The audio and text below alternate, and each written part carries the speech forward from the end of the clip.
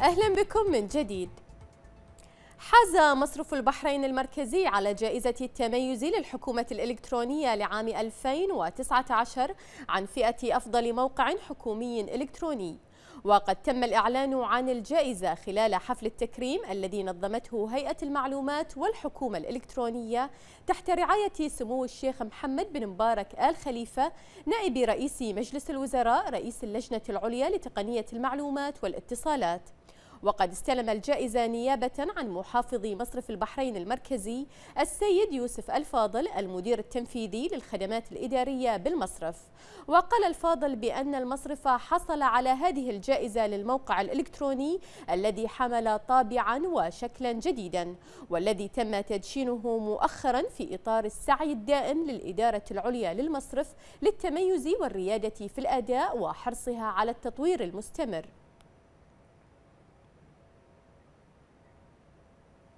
يواصل القطاع المالي جهوده في دعم الخريجين الشباب وتنمية مهارتهم العملية وتهيئتهم للدخول في سوق العمل.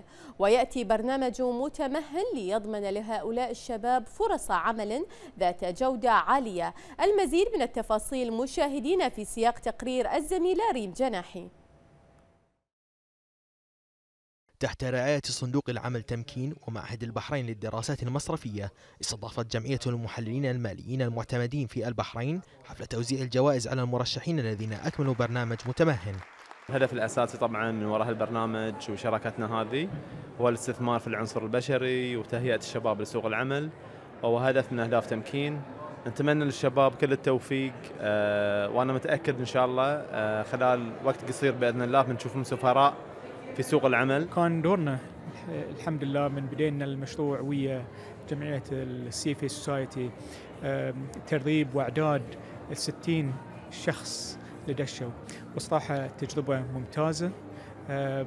قدرنا نطور فيها مهارات الشباب الخريجين وأعدادهم للسوق. وقد تلقى برنامج متمهن 300 طالب من خريجي الجامعات في المملكة وتم تخريج 60 مرشحا متميزا ووزعت عليهم شهادة تقدير. البرنامج طبعا يهتم بالخريجين الجدد.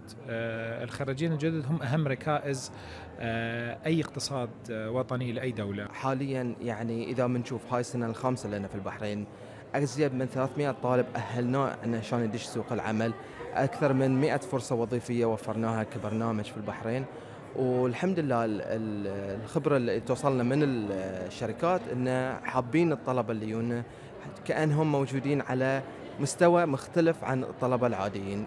وكجزء من البرنامج سيتم إرسال أفضل 20 طالبا ممن حققوا على النتائج لدورات تدريبية في كبرى المؤسسات البحرينية. الصراحة شفت إن الاستفادة من هالبرنامج هو يمكن يعادل أو إنه يكون أكثر من الجامعة. والحمد لله أحس الحين روحي إني عندي القابلية إني أكون مع ناس أكثر أتواصل معاهم. اخبرهم عن أفكاري. طبعا كوني اليوم خريجة من برنامج متمهن أحس إني استفدت وايد أشياء وصارت عندي خلفية في أشياء مخالفة تماما عن تخصصي وأحس ان الست والسبع ساعات اللي قضيناها كل سبت بين أثرها علينا اليوم. وللسنة الخامسة على التوالي يثبت برنامج متمهن قدرته على تطوير الخريجين الشباب وصقل مهاراتهم العملية ضمن رؤية طويلة الأمد للمساهمة بإنشاء جيل جديد من خبراء الاستثمار في البحرين. قامت طيران الخليج الناقلة الوطنية لمملكة البحرين والطيران العماني الناقل الوطني لسلطنة عمان بتوسيع اتفاقية الرمز المشترك الحالية التي تربطهما والتي تسمح للمسافرين الاستفادة من المنتجات والخدمات المتميزة المقدمة من الناقلتين. وسيؤدي هذا الأمر إلى منح خيارات سفر أكثر إلى ما وراء مسقط والبحرين اعتبارا من جدول الرحلات الصيفية المقبلة. وقال الرئيس التنفيذي لطيران الخليج السيد كريشمر كوتشو بأن هذه الشراكة الوثيقة تعد أحدى أقوى الشراكات في مجال الرمز المشترك. ومن جانبه أكد الرئيس التنفيذي للطيران العماني الفاضل عبد العزيز بن سعود الرئيسي بأن الطيران العماني سعيد للغاية بتمديد اتفاقية الرمز المشترك التي تربطه مع طيران الخليج والتي تعد شريكا استراتيجيا وهاما للطيران العماني. والآن نترككم مع أسعار صرف الدينار البحريني مقابل العملات الخليجية والعالمية.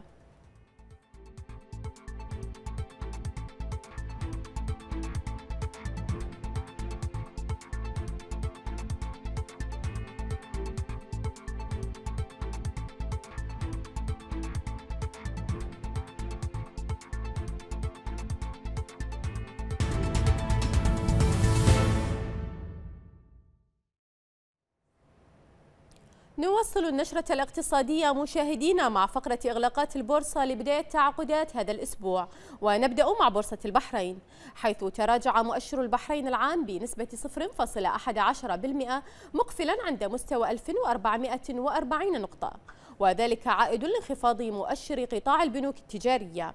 وقد بلغت كمية الأسهم المتداولة مليونين وثمانمائة واثنين ألف سهم بقيمة إجمالية تجاوزت 663 ألف دينار تم تنفيذها من خلال 88 صفقة. وقد تركز نشاط المستثمرين في التداول على أسهم قطاع البنوك التجارية. أما بالنسبة إلى أغلاقات باقي البورصات الخليجية فقد أغلقت جميعها على تراجعات منخفضة تحت ضغط هبوط أسعار النفط. ونبدأ بالسوق المالية السعودية التي أغلقت عند مستوى 9265 نقطة بانخفاض بلغت نسبته 0.11% وبالنسبة لسوق أبو ظبي للأوراق المالية فقد أغلق عند مستوى 5380 نقطة كما هو موضح على الشاشة بانخفاض بلغت نسبته 0.21% وبالنسبة لسوق مسقط للأوراق المالية فقد أغلق عند مستوى 3930 نقطة بانخفاض بلغت نسبته 0.26% وقع صندوق أبو ظبي للتنمية اتفاقية مع بنك السودان المركزي يتم بموجبها إيداع 250 مليون دولار بهدف دعم السياسة المالية للبنك وتحقيق الاستقرار المالي والنقدي في السودان. وذكرت وكالة أنباء الإمارات أن هذه الوديعة تأتي كجزء من حزمة مساعدات مشتركة أقرتها دولة الإمارات العربية المتحدة والمملكة العربية السعودية للسودان والبالغة قيمتها ثلاثة مليارات دولار لدعم الاقتصاد وتلبية الاحتياجات الأساسية للشعب السوداني. أعلنت بورصة ناسداك دبي عن إدراج صكوك بقيمة 1.5 مليار دولار من جانب البنك الإسلامي للتنمية. وأوضحت ناسداك دبي في بيان أن هذا الإدراج يؤكد على دور دبي بوصفها المركز الأكبر عالميا لإدراجات الصكوك من حيث القيمة الإسمية التي يبلغ إجماليها بالوقت الحالي 60.89 مليار دولار. النشرة الاقتصادية مستمرة من تلفزيون البحرين وفيها بعد قليل. مايكروسوفت تحقق إيرادات بأكثر من 30 مليار دولار في ثلاثة أشهر بدعم من الحوسبة السحابية.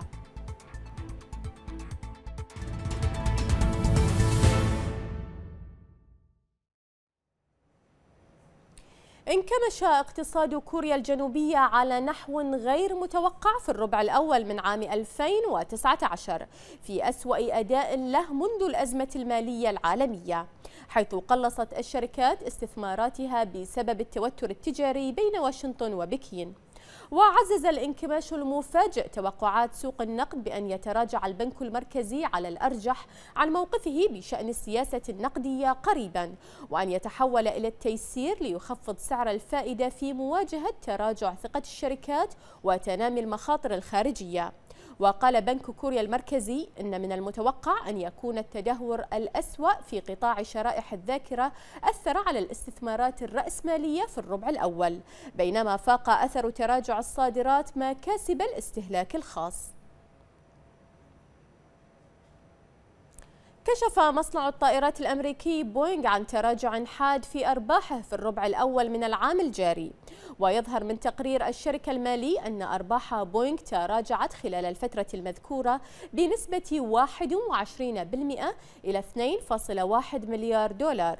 وجاءت الأرباح دون توقعات الخبراء والمحللين. وتواجه بوينغ أزمة حادة بعد سقوط طائرتين من طراز ماكس 737 في غضون خمسة أشهر آخرها في أثيوبيا وهو ما أثر بشكل كبير على سمعة بوينغ. وخاصة هذا النموذج وانعكس الحادثان بشكل كارثي على مصنع الطائرات الأمريكي. أعلنت مايكروسوفت عن نتائج أعمالها الفصلية والتي سجلت بيانات إيجابية وارتفعت إيرادات شركة البرمجيات الأمريكية إلى 30.57 مليار دولار في الأشهر الثلاثة الأولى من عام 2019 من 26.82 مليار دولار في نفس الفترة في عام 2018 وذلك بدعم من أعمال الحوسبة السحابية. وقفز الطلب على أعمال الحوسبة السحابية التي تقدمها مايكروسوفت لترتفع إيراداتها من هذه الخدمات بنسبة 41% إلى 9.6 مليار دولار على أساس سنوي.